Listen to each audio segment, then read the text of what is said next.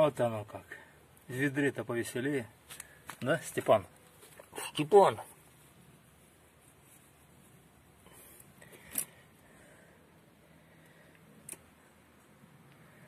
Красавцы. Степа. Степа.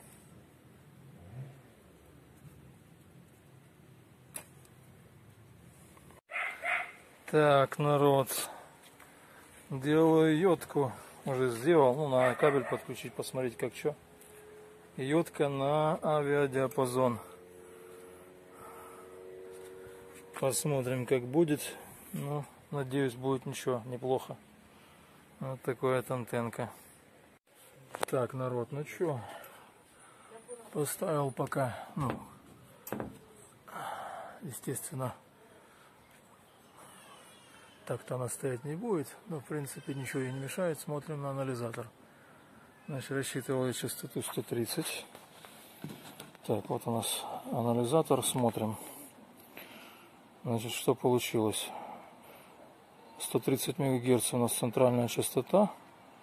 Смотрим, вот. Вот и есть 130. Получается, так как это полволны, она обладает не очень большой широкополосностью. Но, в принципе, в пределах авиадиапазона достаточно.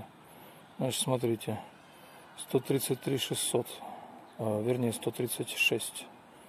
Конец авиадиапазона. В принципе, КСВ 3.5 тоже нормально. Значит, 130. Потом подъем идет у нас до 3. Ну, тут до 4, 122. Ну, в общем. И потом опускаемся до 118 и уже идет меньше. Минимум 5 небольшой на 115. В принципе, и опять же мы видим, да, вот мы доходим до 100 МГц, до 109, и дальше я смотрел тоже. То есть там нет резонансов. Это будет обрезать FM-станция. То есть, в принципе, э, я очень доволен. Но опять же, ее надо будет поднять и подключить к этому тонкому кабелю 50-темному военному еще один кабель, поэтому хрен его знает.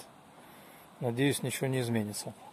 Значит, по подключению, смотрите, ребята, очень это важно, э, потому что если подключить по-другому, завести кабель, э, показания будут совсем другие и не в лучшую сторону.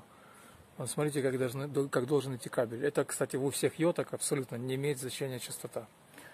Вот смотрите, ров, вот четко должна повторять форму кабель форму элементов. То есть вот здесь подключено масса и вот сюда оп, центральная жила. Кстати, обратите внимание, я все-таки отказался от всяких хомутов и прочей ерунды. Сейчас, извините. Да. Так вот, э, это все пайка, то есть я паял. Это все спаяно фокус, конечно, просто дно. Не фокусируется ни хренище. Значит, это все пайка. То есть я брал вот этот специальный припой, который э, окисляет алюминий, снимает окислы. И паял. То есть вот это все припаяно. В принципе, вы видите, что довольно неплохо. Так, ну дальше будем продолжать уже экспериментировать.